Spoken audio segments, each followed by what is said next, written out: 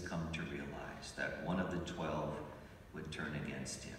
And this causes concern, as we heard. So Peter motions to John, the beloved apostle who's leaning against Jesus' side, ask Jesus who this might be. Jesus reveals his betrayer when he takes a morsel of the bread and dips it and hands it to Judas. He also confronts Judas by saying, Go and do what you have to. Judas leaves the meal, but no one really seems to understand what is going on. But Jesus also reveals another betrayer at the table. His conversation with Peter indicates that Peter will deny him, deny knowing him. Peter says, I will never do such a thing. But as we know, he too, like Judas, fell. One of the things that the Gospels really don't address uh, is how Jesus must have felt. Imagine what was going through his mind and his heart about two of his own chosen betraying him and denying him. Again, in his humanity, Jesus must have grieved over this betrayal. Being betrayed by people closest to you is one of the most hurtful things that a person can experience. Having someone you love turn against you is a deep and painful wound. And in most cases, forgiveness does not come easy from those who have been betrayed. For instance, in the case of marital infidelity, that act of betrayal can easily bring down a marriage.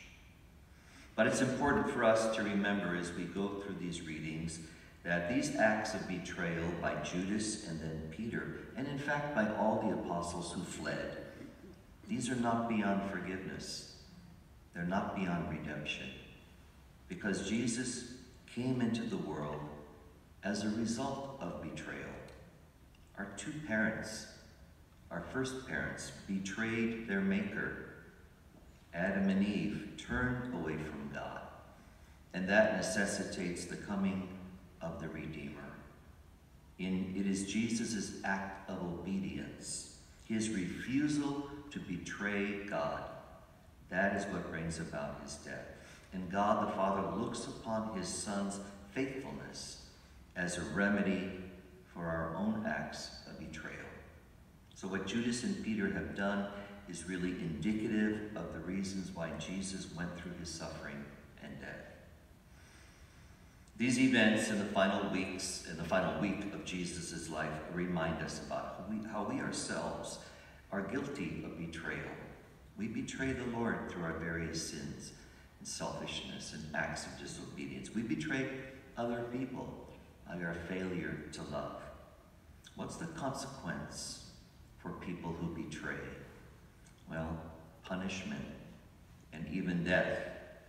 But thankfully, we can all be on the receiving end of forgiveness through the suffering, death, and resurrection of Christ.